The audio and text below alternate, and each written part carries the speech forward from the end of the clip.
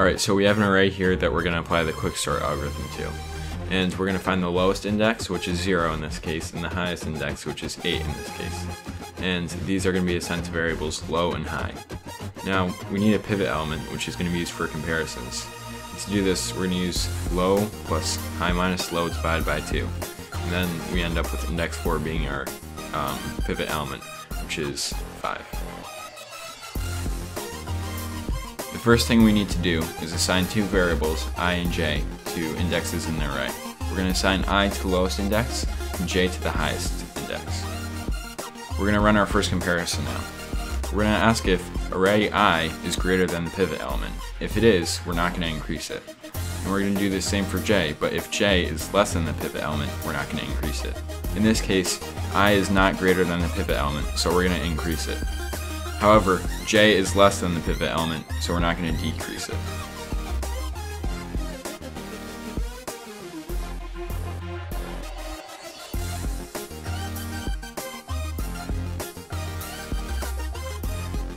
Now i is at index 1, and we see that it's 8. So, 8 is greater than 5, so we're going to not increase i. And at this point, since both are not going to be increased or decreased, we're going to make an exchange between the two. By creating temporary variables, we are going to exchange the two elements. Once we exchange them, we're going to increase i and decrease j. At this point, the value of i is greater than the pivot, so we're not going to increase it anymore.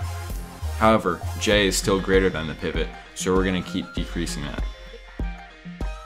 Now j is at value of 3, which is less than the pivot, so we're going to make an exchange again. Once more we increase i and decrease j. We increase i again and decrease j, and uh, they're at the same index increasing i again and decreasing j, we end up with a problem. j is less than i. Written in the code, if this happens, we have to go into recursion. So now we're going to split the array into two parts. 1, 4, 3, 2, and 6, 9, 7, 8. We're going to ignore the 5 because it's in its sorted position. Now we have 1, 4, 3, 2.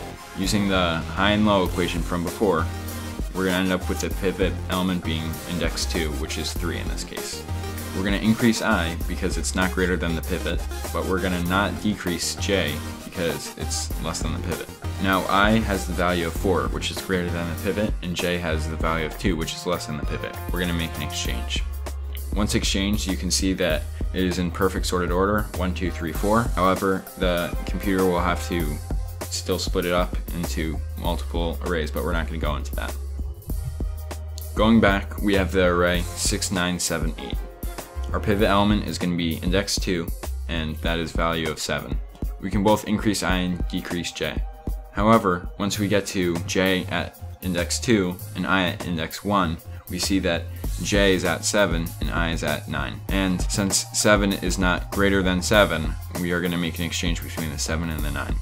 Now we have the array 6, 7, 9, 8. We're going to split the array into the 6 going on its own, the 7 going on its own, and now we're left with 9 and 8.